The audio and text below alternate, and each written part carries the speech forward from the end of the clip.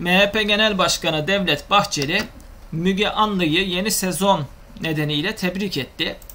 Şöyle bir mesaj gönderdi. Sayın Müge Anlı, Türk televizyonlarındaki sosyal sorumluluk bilincinin en güzel örneklerinden biri olan beğeni ve dikkatle takip edilen Müge Anlı ile Tatlı Set programının yeni yayın dönemini tebrik ediyor. Sizlere ve tüm çalışma ekibinize kolaylıklar diliyorum. Şimdi diyeceksiniz ki bunda ne var? Adam tebrik etmiş. Çok şey var. Geçtiğimiz haftalarda Müge Anlı ve Esra Erol'un programının kaldırılacağına yönelik iddialar dolaşmaktaydı. Böyle bir taslak hazırlığında olduğu söyleniyordu yetkililerin. Ve Bahçeli işte bu açıklamasıyla Müge Anlı'yı ben de takip ediyorum diyor. Bu program başarılı diyor. Böyle bir çalışmanın içerisinde olmayın diyor. Üstü kapalı bir şekilde aslında iktidara mesaj gönderiyor.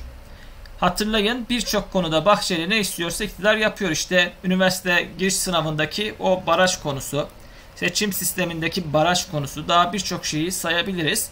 Bahçeli'nin hemen hemen istediği her şey yapılıyor, istemediği bir şey de yapılmıyor. Bu mesajıyla birlikte Bahçeli bir ilki gerçekleştirerek Müge Anlı'nın programına sahip çıkıyor. Geçtiğimiz sezonlarda ben şahit olmadım Bahçeli'nin böyle bir tebrik mesajı gönderdiğine. Siz şahit oldunuz mu bilmiyorum. Ama bu bir ilk. Bu ilkin arkasında da dediğim gibi Müge Anlı'nın programının kaldırılacağı iddiaları var. Geçtiğimiz haftalarda böyle bir iddia gündeme gelmişti. Böyle bir taslak çalışmasının gündeme geldiği söylenmişti. Hani evlilik programları kaldırılmıştı ya bu tarz programlarında kaldırılacağına yönelik iddialar vardı.